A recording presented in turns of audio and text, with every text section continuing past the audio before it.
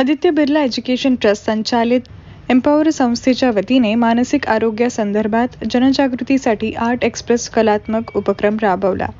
Empower संस्थेच्या वतीने चिंता निराशा कामाचा ताण आणि नातेसंबंधातील समस्या तसेच मुलांमधील अतिचंचलतेसारख्या विविध मानसिक समस्यांसंदर्भात जनजागृतीसाठी आर्ट एक्सप्रेस हा अनोखा उपक्रम राबविण्यात आला. या उपक्रमाअंतर्गत रक्षक चौक जगताप डेअरी ते औंध टी रस्ता ते पिंपरी या दरम्यानची साडेतीन हजार चौरस फुटांच्या भिंतीवर मानसिक आरोग्याशी संबंधित सुंदर व कलात्मक चित्रे संदेश रंगवण्यात आले.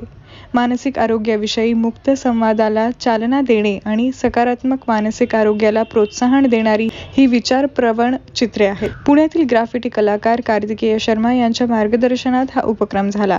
यावेळी एम्पॉवरच्या उपाध्यक्षा ऑपरेशन्स परवीन शेख व पुणे सेंटरच्या प्रमुख स्नेह आर्य आदी उपस्थित होते. आदित्य बिर्ला मेमोरियल हॉस्पिटलमधील डॉक्टर्स शाळा महाविद्यालयीन विद्यार्थी कंपन्यांचे कर्मचारी आणि पुणेकरांसह अनेकांनी या उपक्रमाला उत्तम प्रतिसाद दिला.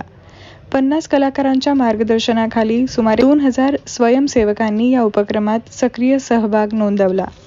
परवीन है, मैं एक मनोवैज्ञानिक हूँ और एम्पावर को हेड करती हूँ। मैं बॉम्बे से आई हूँ अपने हेड ऑफ़िस से।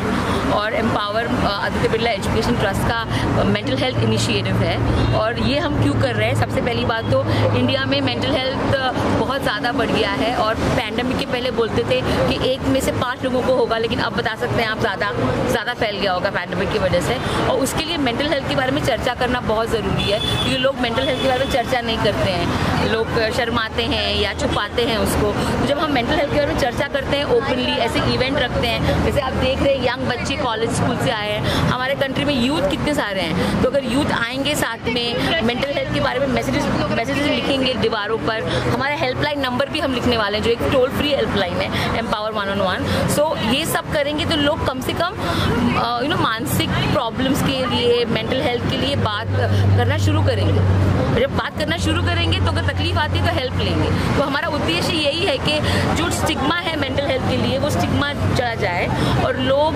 मेंटल हेल्थ जैसे बुखार, सर्दी के लिए फ़िज़िकल हेल्थ के लिए दवा, दवाई लेते हैं या सपोर्ट लेते हैं मेंटल हेल्थ के लिए भी वैसे ही सपोर्ट लें। और यही हमारा उद्देश्य है।